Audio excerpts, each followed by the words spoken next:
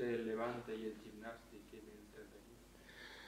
Bueno, esa fusión tradicionalmente mm, plantean después de la guerra que eh, hay un equipo que es el gimnástico que tiene un campo en buenas condiciones, que es Vallejo, y hay otro equipo que es el Levante Fútbol Club, que tenía otro campo, el campo de la Cruz, pero que había quedado con más problemas por, por el paso de la guerra, pero que sí que tenía un, elenco de buenos jugadores. la verdad es que el campo del, bueno, como veníamos hablando, el campo de Vallejo em, era un alquiler, estaba alquilado por el, por el gimnástico desde, pues desde mediados de los años 20, desde 1925 la situación económica del Levante nunca ha sido especialmente, nunca especialmente fue buena, ¿no? Y en esos finales de los años 40, pues bueno, un poco era el reflejo de aquella España de, que trataba de salir de la guerra y aquella España autárquica de los años 40, ¿no? Aficionados vinculados al Levante que consiguen poner el dinero necesario para, para, primero paralizar esa orden de desahucio que era bastante real. Lo que hacen es una venta de pases a los aficionados por, por, una, por un valor de, o sea, por, un valor, por una extensión temporal de 15 años. Si tú podías comprar un, un, abono en aquel momento, pues estamos hablando del año 52, 53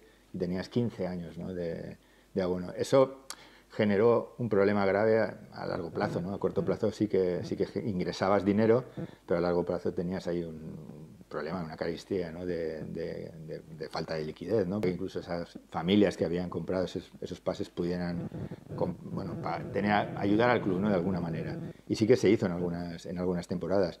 Pero ya te digo, fue una iniciativa para tener líquido, dinero líquido de primera instancia en ese primer momento, pero luego generó un grave problema cómo se rehizo el club después de la gran riada del 57? ¿De dónde salió ese dinero? Porque Antonio Roma, leyendo un documento que dijo que costó 900.000 pesetas, ¿de dónde salió ese dinero? Bueno, hubo ayudas por parte también de federación, hubo ayuda estatal también. Y me imagino que como se hacía en, todos los en aquellos momentos, pues la junta directiva tendría que también rascarse, rascarse el bolsillo, como solían hacer a veces a final de temporada para enjugar los déficits.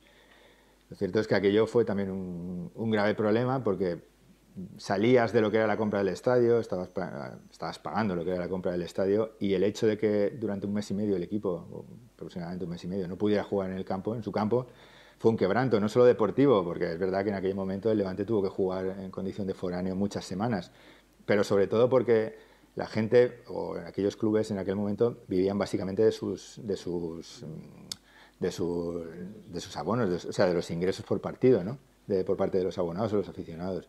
Y eso generaba un, déficit. De hecho, hubo cartas de, Antonio Román, como mandatario, advirtiendo a los jugadores que no iban a poder cobrar sus sueldos en ese momento, estamos hablando de noviembre, diciembre del, del 57, él prometía que no iba a haber ningún problema para cobrar, pero que tenía que tener en cuenta que ante la falta de recursos por el hecho de no jugar en casa, pues iba a haber una serie de, bueno, los plazos iban a vencer y no iban a poder pagar en ese momento, pero él aseguraba que, que, podían asumir todo eso. De hecho, nosotros tenemos documentación de, de, esas cartas dirigidas a los jugadores, bueno, pues pidiéndoles un poco de comprensión para que entendieran lo que había pasado en aquel momento en, Valencia.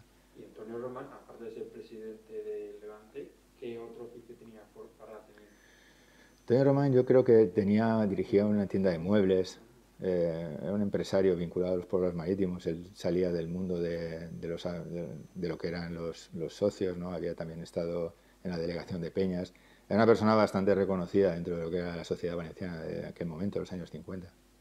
Y esa, esa, esa época, finales de los 50, el equipo estaba muy bien, de hecho parecía que iba a subir a primera, pero pierden contra Las Palmas, ¿no?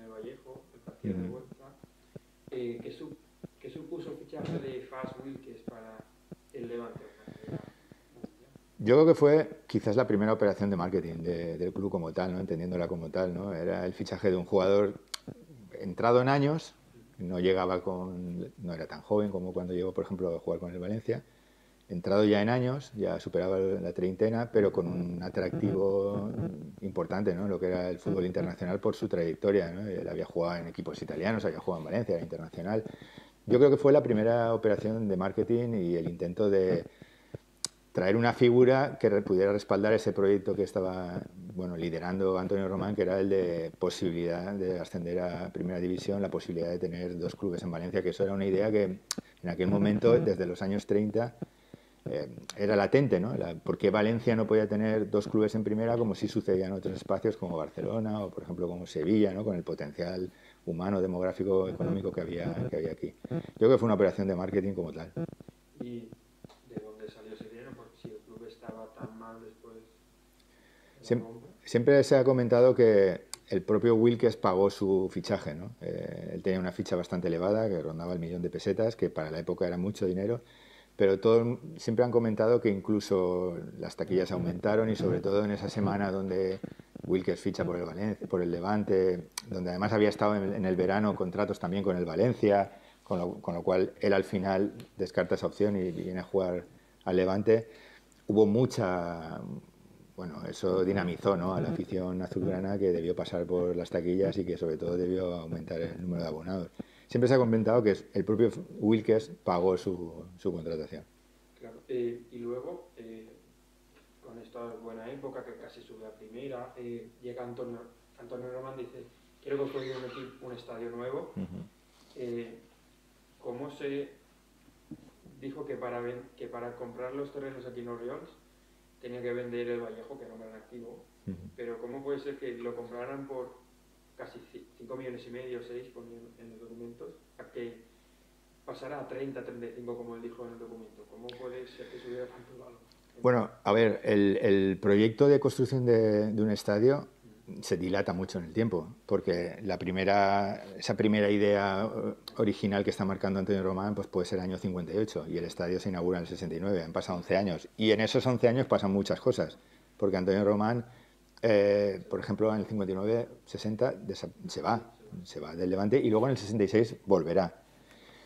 Y ahí hay un impasse que se trata de solucionar desde otra perspectiva. Es verdad que él en torno al 58-59 incluso está dando nombres de emplazamientos para esa futura construcción del estadio. Incluso se plantea que pudiera estar cerca de Mestalla, que pudiera estar en los alrededores de lo que era el campo de Mestalla.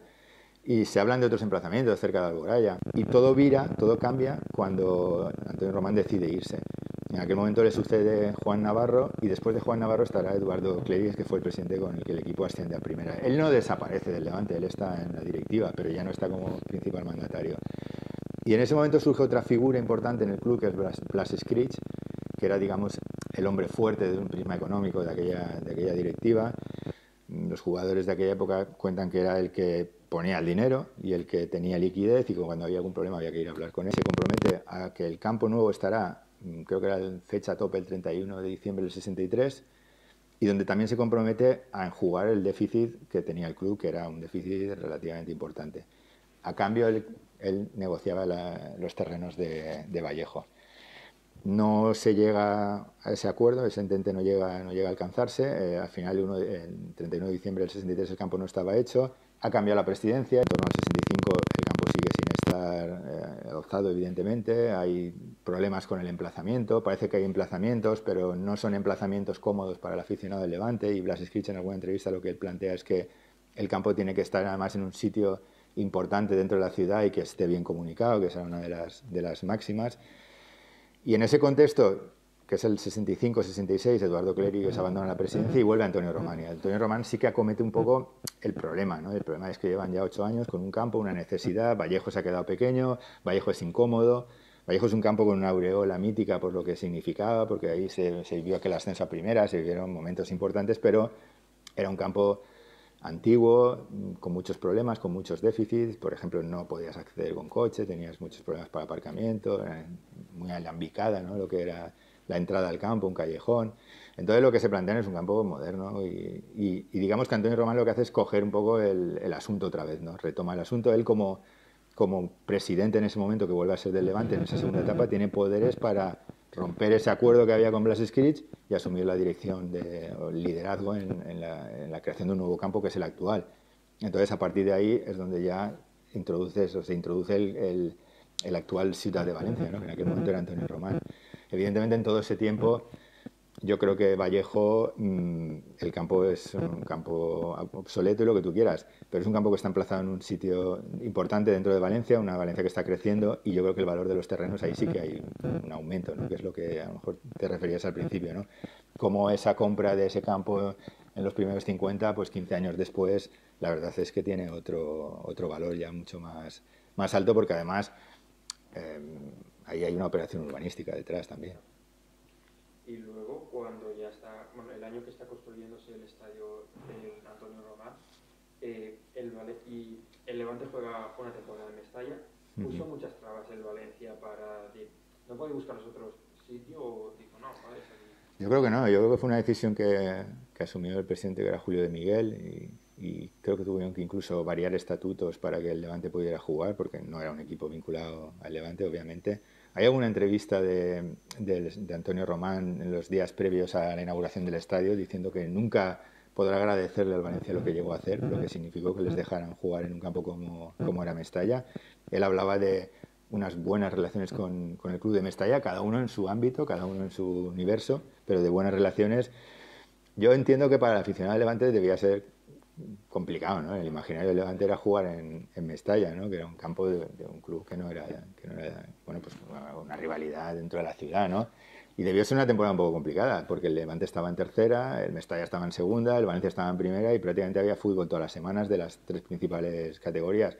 Pero si seguimos el criterio de Antonio Román, siempre estuvo, bueno, siempre dio las gracias al club y siempre estuvo muy agradecido por lo que significó que les abrieran las puertas de, de Mestalla. Claro, porque además el Valencia ese año creo que ganó la Copa de Ferias y el Levante. ¿Cómo asimilaba el Levante tener un estadio tan grande y estar en tercera tanto tiempo? Porque los 70 fueron. Sí, la verdad es que siempre se planteaba un poco que la salida de Vallejo podía ser la resolución de todos los problemas económicos del club, ¿no? Y, se planteaba un poco como, como, permuta, ¿no? O sea, tú te deshacías de unos terrenos como eran Vallejo, que no solo era el campo, tenía otros terrenos anexos de los cuales ya habías perdido, ya habías vendido alguna, alguna parte, ya habías eh, segregado alguna, alguna parcela en los años anteriores. Eh, yo creo que lo que planteaban era un poco una permuta. Eh, bueno, salimos de allí, construimos el estadio y en eso el Levante quedaba, estaba libre de, gastos. O sea, lo que era el estadio como tal se construía, se financiaba a través de lo que era la salida de, Vallejo, aunque luego sí que es verdad que tuvo que asumir otra serie de gastos. O sea, tú tenías, digamos, el esqueleto del campo, lo que era la estructura. Pero luego, por ejemplo, todo lo que eh, hacía referencia al aparato eléctrico, a la iluminación, a las torres, todo eso corría por cuenta del Levante y un poco vestir al, al, estadio por dentro, en, aquel momento Antonio Román también corría por cuenta del Levante, entonces él, eh, Antonio Román, en esa entrevista que aludía antes, en esos días previos, pues estaba cifrando en, bueno, tenemos un estadio que no nos ha costado nada porque sale de la permuta de Vallejo lo que es la construcción, pero habrá que ponerle 7.000 butacas, supongo que hablaba de tribuna, y hablaba de unos 2 millones y medio. Habrá que montar la estructura de todo el aparato eléctrico, las torres, y hablaba de 8 o 10 millones. Y también hablaba de 4 o 5 inmediatos para consolidar por dentro el estadio. Supongo que estaba hablando de las oficinas, de todo lo que es la estructura interna del club para, para trabajar, que quería trasladarse aquí y abandonar directamente Vallejo. Al final yo creo que no resolvió esas, esas deudas que Levante tenía y la realidad es que un par de años después Antonio Román sale, viene Grau Torralba, una situación financiera bastante complicada, un equipo que no lograba salir de, de tercera y que en la temporada 70-71 incluso coqueteó con la posibilidad de descender. ¿Y por qué le cambia el nombre al estadio al nuevo estadio? Bueno, yo creo que quiere borrar un poco la, la estela de, de, Antonio Román en ese, en ese momento. Yo creo que al final cada, cada directivo bueno, pues trataba de, de, dejar su sello y sí que es cierto que Grau Torralba, al que yo conocí en sus últimos años de vida y tuve una relación bastante estrecha con él en sus últimos años, lo que sí que quería, una obsesión suya, era eh, el Levante asociarlo a Valencia. Tú al final te llamas Levante Unión Deportiva y ellos vinculaban de Valencia. Y ellos lo que querían era asociarlo. Eh, de hecho, él monta un torneo y también está el, nombre de Valencia asociado en ese torneo de, verano. Y, yo creo que más que borrar la huella ¿no? de, Antonio Román, que, creo que también, lo que quería era, bueno, en este caso hablar del nuevo estadio, que estuviera vinculado eh, a Valencia y un poco pues dejar también su, su sello personal. Más tarde ya en los 80 parece que el equipo remonta y va a llegar a primera división en la temporada 81-82, ¿no? antes de que llegara Cruyff. Eh, ¿Por se acabó no fraguándose el, el decir que? Yo creo que aquí siempre ha habido muchas prisas por, por la idea de la primera división, cuando en realidad siempre estabas en, entre segunda y tercera, segunda B, y siempre en las entrevistas se hablaba, siempre surgía de telón de fondo el marco de la primera división, cuando en realidad a lo mejor tenías que primero subir y consolidarte, y costaba consolidarte. Los años 70 fueron bastante duros y bastante gravosos económicamente hablando. El club fue asumiendo una deuda muy amplia conforme iban avanzando los años 70, porque es cierto que montaba plantillas importantes, pero no acababa consolidando los objetivos deportivos. ¿no? Y sí que sumaba mm, déficits. ¿no? Entonces, yo creo que aquella temporada que tú hablas, que es la temporada 80-81, que, que, fue la llegada de Cruyff, el Levante había salido un poco antes de la segunda B. Eh, yo creo que había un, club, un equipo muy comprometido dentro del campo, un equipo en el que no había figuras, pero un equipo muy de signo gremial, donde todo el mundo sabía dónde estaba, donde todo el mundo luchaba, con Pachín, que los jugadores estaban con él en el banquillo. ¿no? Y yo creo que se, se hizo una situación, o sea, se, se, logró una situación deportiva importante para no, no, tanto acometer el ascenso, pero sí para su, estar en la parte alta de la tabla, pero eso estaba lastrado por el tema económico. Los jugadores tenían impagos, no estaban cobrando al día, las mensualidades no llegaban, los presidentes se sucedían, la situación económica empeoraba y en ese contexto además llega Cruyff que era difícil de asumir que Cruyff pudiera llegar al, Levante. Yo creo que también era una operación de, pues de marketing, ¿no? De, repente el Levante, bueno, firma Cruyff. Eso no, no casaba, ¿no? Con lo que era el, el, fútbol, ¿no? Y en un club, en un contexto en el que había muchos problemas económicos, donde los jugadores estaban muy vinculados, muy, muy unidos, yo creo que la figura de Cruyff distorsionó un poco esa idea de, de, equipo grupal. Sí que es cierto que llegó a liderar la clasificación un poquito antes de que llegara Cruyff, y sí que es cierto que el equipo, yo creo que era un equipo rocoso, yo lo recuerdo vagamente, pero creo que era un equipo muy rocoso, gente muy comprometida, que sabía jugar al fútbol, que además muy experimentados, con años incluso en primera división. Pero yo creo que esa idea de Cruz rompió un poco, ¿no? Y venían también un poco a, a demostrar pues eh, lo que estaba viviendo el Levante, ¿no? Yo creo que era un sueño, una ínfula que no, no se correspondía ¿no? con, lo que, con lo que el club era en aquel momento. ¿Y de dónde salió el dinero para pagarle la ficha tan alta que tenía Pues yo creo que eso es un, un, misterio que no sé si tendrá resolución o no. Hay muchas leyendas urbanas en torno a, al fichaje de Cruyff. Eh, sí, él se fue a vivir a la Liana yo creo que además, creo que en algún artículo leí que vivía en la casa de, que había sido la casa de Kempes antes. A ver, Cruyff tenía un, una aureola que no tenía el resto de jugadores del de Levante en aquel momento, ¿no? Un jugador que no, no necesitaba presentación. También entrado ya en años. Si a mí me preguntas personalmente, yo creo que Cruyff no cobró lo que debía haber cobrado en el Levante. Yo creo que, que a Cruyff, mm, no sé si el término engañar sirve, porque no creo que le engañaran, pero yo creo que no, que no cobró todo lo que, lo que estaba estipulado. De hecho, él al final, bueno, pues incluso hay, hay unos terrenos que eran los del club de tenis, tal, que se los ceden a él para, para paliar eso, esos pagos. Y yo creo que a Cruyff, pues lo que le debieron eh, ofertar no lo cumplieron, ¿no? Y en ese sentido yo creo que pues sucedió un poco como pasó con el resto de jugadores que, tenían problemas de cobro y, y tampoco cobrarían, ¿no? Yo creo que a Cruyff bueno, en cierto modo engañaron ¿no? con, con, lo que le habían dicho. Luego están las leyendas urbanas de si cobraba en torno a los partidos que jugaba, si no cobraba, si su, si su suegro se llevaba el dinero de las taquillas en, envuelto en papel de periódicos. Ahí hay muchas leyendas urbanas que posiblemente muchas sean, sean ciertas, ¿no? Pero yo creo que con él mm, lo que habían, lo que habían pactado no, no lo cumplieron, ¿no? ¿Y se sabe cuánto le, pagaron, le prometieron más o menos? Bueno, los contratos hablaban de 10 millones de pesetas. ¿Anuales? Bueno, ten en cuenta que estuvo tres meses. Él llegó en marzo. O sea, el, el, fichaje tardó un mes y pico en fraguarse, ¿no? Entonces, era, era mucho dinero. 10 millones de pesetas en, prácticamente para jugar 4 o 5 meses era, era bastante dinero, ¿no? Y las fichas de los jugadores no estaban en esas, en esas cantidades. Quedaban, en, quedaban mucho más bajas, ¿no? Entonces, pues bueno, al final, ya te digo, ahí yo creo que se distorsionó todo. Eh, yo creo que además ese, ese, sentido de equipo grupal que tenían también se distorsionó. Luego al final marcha y, y, nunca tampoco ha tenido ningún guiño con, con el Levante, ¿no? Yo creo que va un poco en esa, en esa línea. Y bueno, después bajan a tercera administrativamente y hasta la temporada 99-2000 el equipo no se no cumple tres temporadas seguidas en segunda división, no se consolida.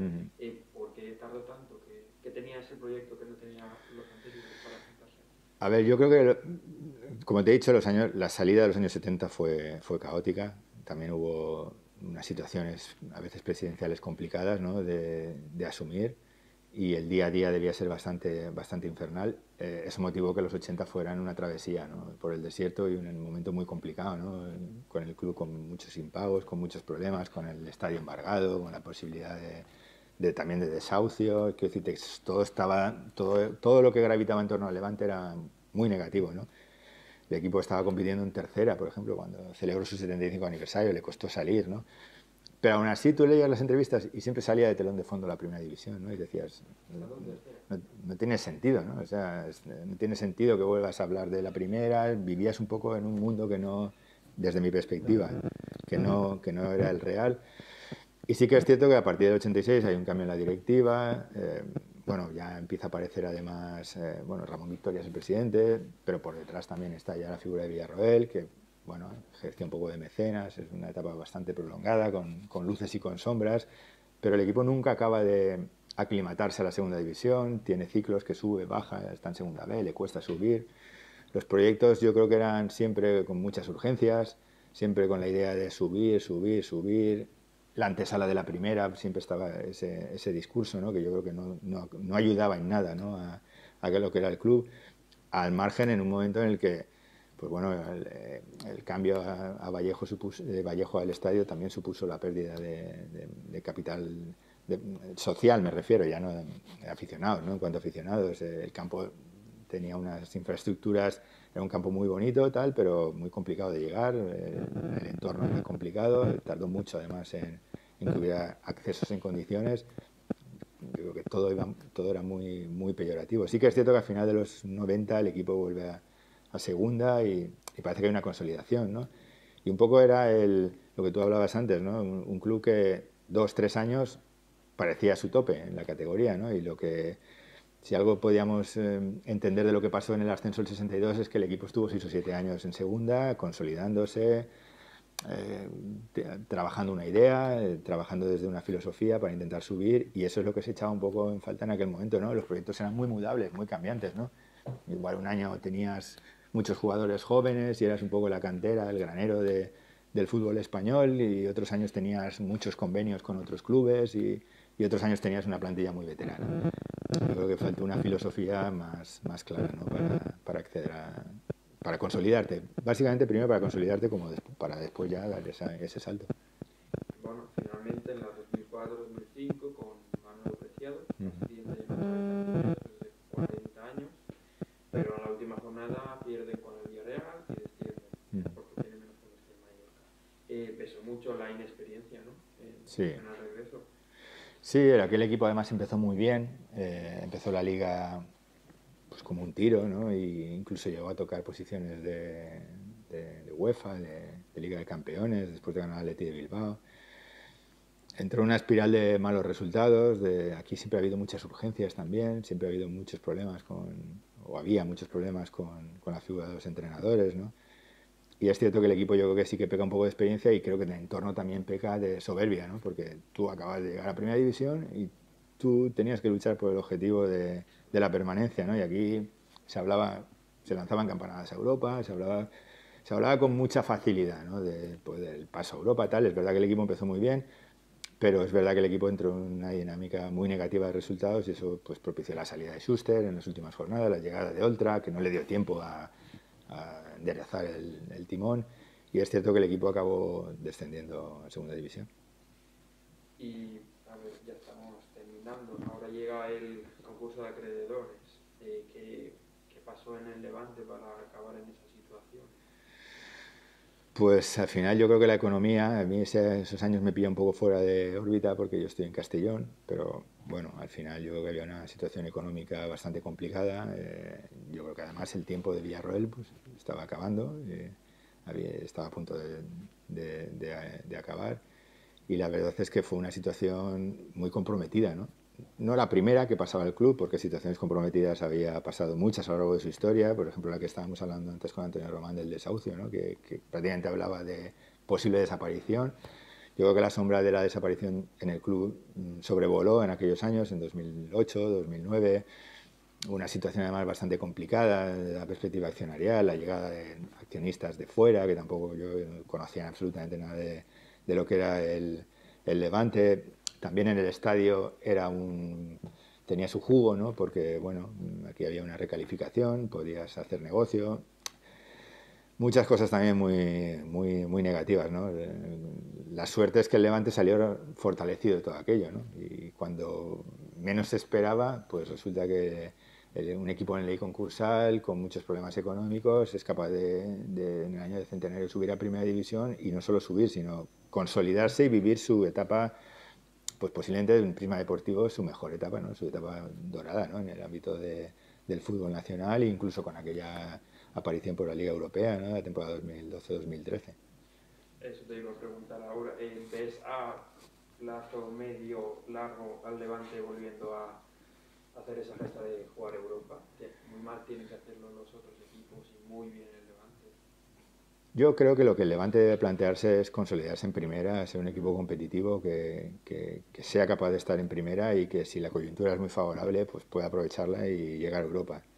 Y que si la coyuntura no es tan favorable, tampoco lo pase mal en, en el ámbito de primera división. Al final, yo entiendo que la primera división es muy golosa, pero nosotros no dejamos de ser casi unos recién llegados. Eh, estamos compitiendo 15 años, 15 eh, temporadas en primera, cuando llevamos ya muchísimos años de, de, lo que es el campeonato en primera división.